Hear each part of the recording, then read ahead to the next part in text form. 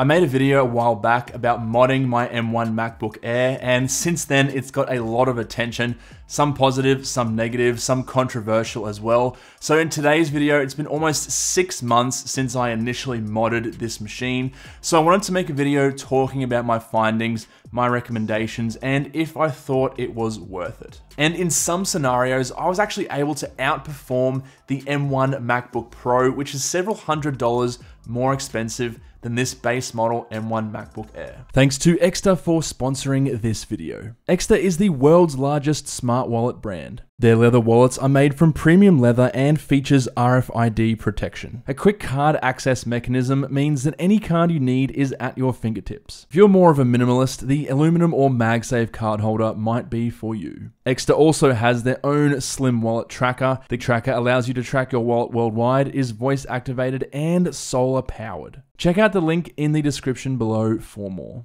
So quick background information, if you aren't familiar with the mod itself, it's essentially a thermal mod, and all you have to do is take off the back covering of the Mac, apply some thermal pads to the CPU and GPU heatsink, ensuring to make contact with the back metal chassis, and from there you can get anywhere from 5 to 20% performance gains in some tasks. At the cost, of course, of the back of the case heating up a lot more than it usually would. By the way, I'll have all the links down below to my original video and also a video showing you guys how to do it if you are interested. Quick disclaimer, it may very well void your warranty and the bottom of the case will get very hot, so proceed with caution if you are still interested. So let's start with heat. After six months, what are my experiences? How hot does it get and is it uncomfortable? So you would have seen in the original video, the stock chassis gets up to about 47 degrees Celsius when rendering, so under a large load. And then once the machine has been modded, this actually increases by about 10 degrees to anywhere from 55 to 58 degrees Celsius right on the back here where the heatsink is located. So in terms of using the modded M1 MacBook Air on your lap and just general day-to-day -day usage, I noticed zero changes when I was just using the MacBook for light tasks, such as browsing or watching YouTube videos or sending emails, for example.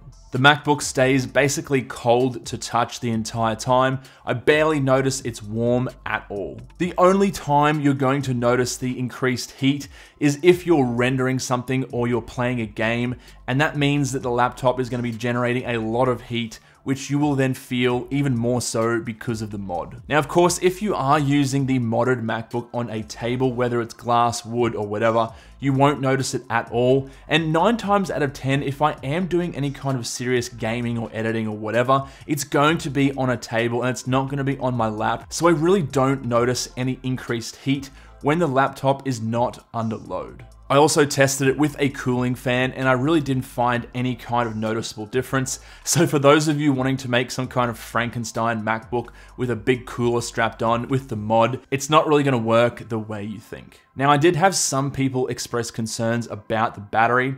So what the mod does essentially is it draws all of the heat away from the CPU and the GPU and distributes it into the chassis. So obviously the chassis is aluminium, so it's a very good conductor of heat. And what this does is the battery is obviously located around here. And people were thinking that I would fry my battery in a month because of the increased heat. So number one, no, that's not going to happen. A, because obviously the heat is only really increased around the CPU, which is up the top, and the battery is located down towards the bottom of the MacBook. And secondly, I'm not rendering on this thing 24 seven or gaming.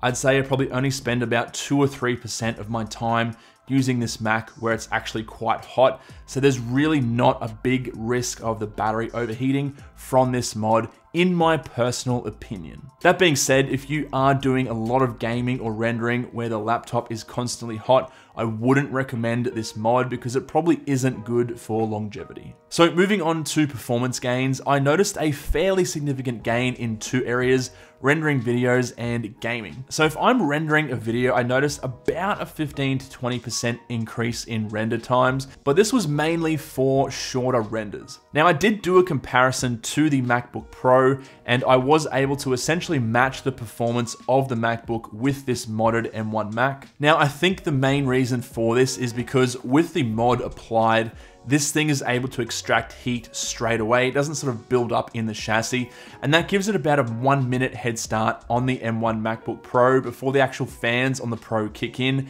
and do the exact same thing. Now, under sustained performance, the MacBook Pro will do better because obviously it has that fan concentrated on the GPU and CPU heatsink, and that's going to extract more hot air than a simple thermal mod will do. So let's talk about cost and complexity. How expensive and how difficult is it to do this mod? So in terms of cost, it's relatively cheap. It's only about 20 to 30 bucks to actually buy the thermal pads.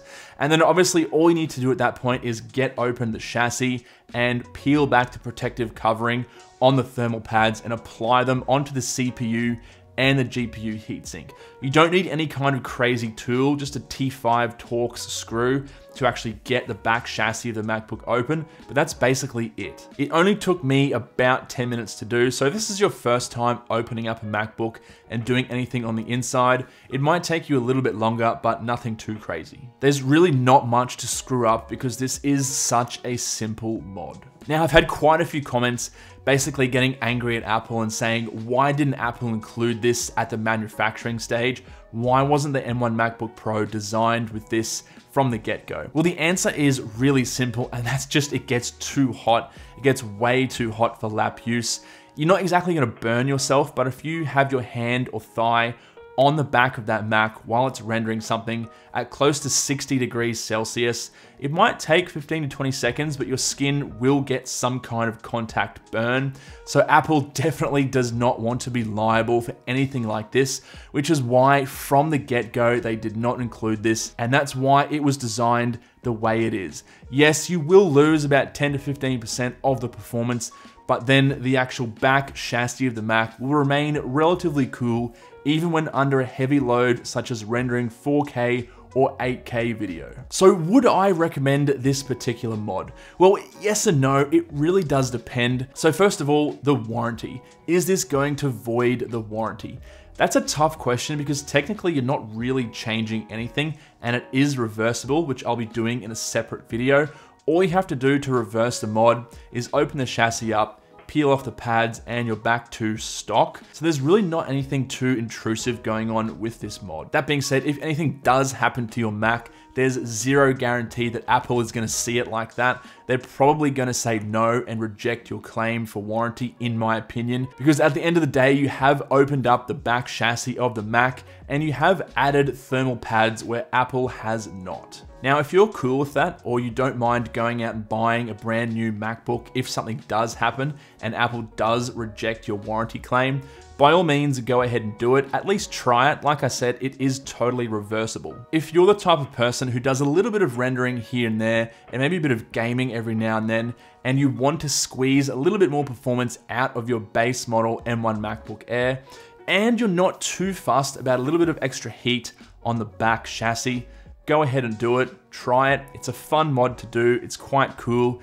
and at the end of the day, you don't have to keep it, you can just remove it. Now, if you are worried about the increased heat and its effect on battery life and longevity, I wouldn't worry about it too much. Like I said before, I didn't really notice any huge issues. My battery life is exactly the same. The health is still quite high. I think it's like 99%. And this is after over six months of using this MacBook every day for anywhere between 8 to 10 hours. But again, like I said before, if you're really smashing this laptop with gaming or rendering and it's gonna be constantly hot, you know, for hours and hours a day, I probably would not do this mod. Anyway, guys, thanks for watching this video. Hopefully you found it interesting. Again, I'll link all of my other M1 MacBook Air mod videos down in the description below. If you want to see any more videos on this topic, including actually reversing the mod and seeing if there's any kind of leftovers from the mod that a genius might be able to detect, let me know down below. But apart from that, I'll catch you guys in the next one.